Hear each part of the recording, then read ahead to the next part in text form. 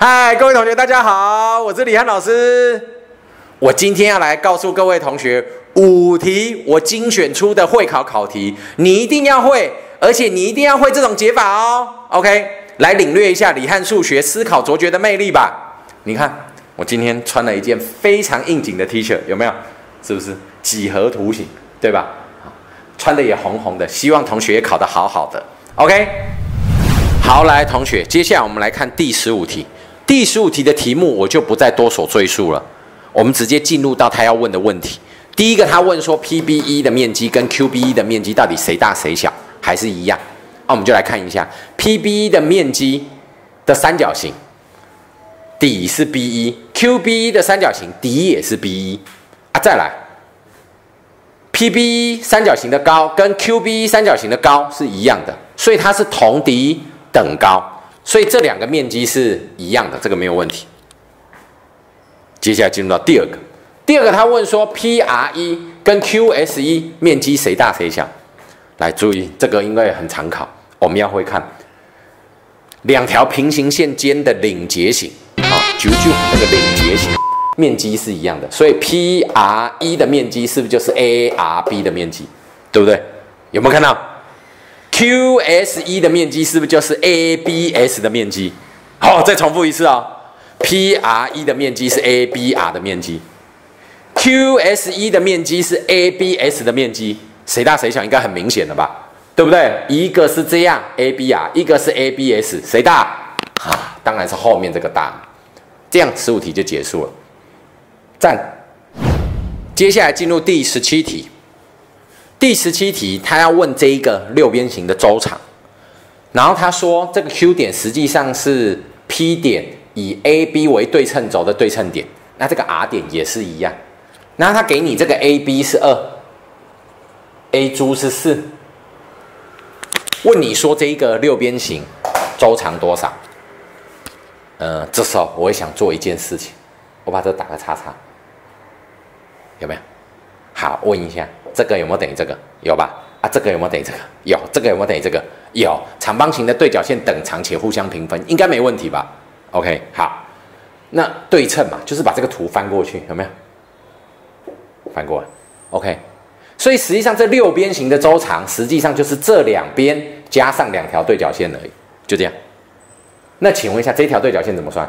这里是二，这里是四，一比二，斜边应该就根号五。啊，它是两倍嘛，所以这就是二根号五，所以这也是二根号五，就是四根号五。其实已经结束了，选项里面就只有一个，有一个是四根号五而已。OK，接下来我们来看第二十一题。二十一题呀，你看到这个二次函数，你就要知道它的顶点的 x 坐标叫做负七，可以吗？有顶点的 x 坐标是负七，你会知道它的对称轴是 x 等于负七。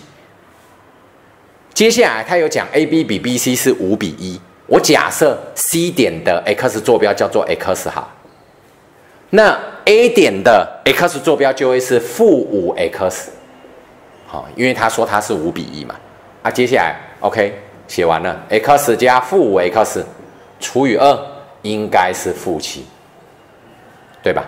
好，所以就变成负四 x，答案是负十四。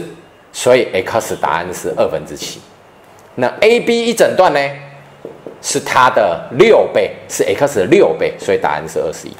结束。同学，接下来进入到第二十二题，题目我就不再多所赘述了，你们都写过了，OK，直接进主题。他说这个角 APQ 的外角是七十五度，这是七十五度。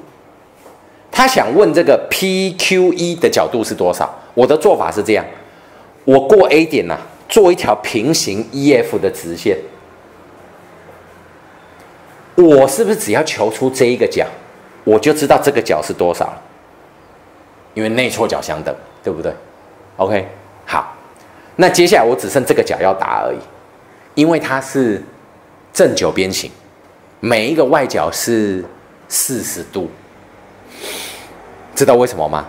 因为正 n 边形，不管是几边形，它的外角和都是三百六十度。OK，那因为正九边形嘛，所以你把三百六除以九，每一个外角是四十度。那因为我这个是平行这个底边的嘛，对不对？所以这个外角四十度啊会被平分成两个，这个就是二十度。OK，我的想法是这样。那这里二十，这里七十五，加起来就九十五了。所以剩下这个角就是八十五，那这里就是八十五。结束。同学，接下来我们进入到第二十三题。二十三题题目是这样，他说十片拼图拼起来五十六公分长，四片拼起来二十三公分长，问你一片多长？很简单，这看变化就好了。这里少六片，这里少三十三公分，所以这里少三片，这里要少几公分？二比一嘛，二比一嘛，十六点五。所以二十三扣掉十六点五，这答案就是六点五。结束。谢谢各位同学的观赏。如果你对老师的讲解有任何问题的话，欢迎在下方留言，我会一个一个回复你们哦。还有，如果认同、喜欢我的上课方式的同学，欢迎来上我们高中数学衔接课。下面有表单，可以让你报名试听，赶快来，等你哦。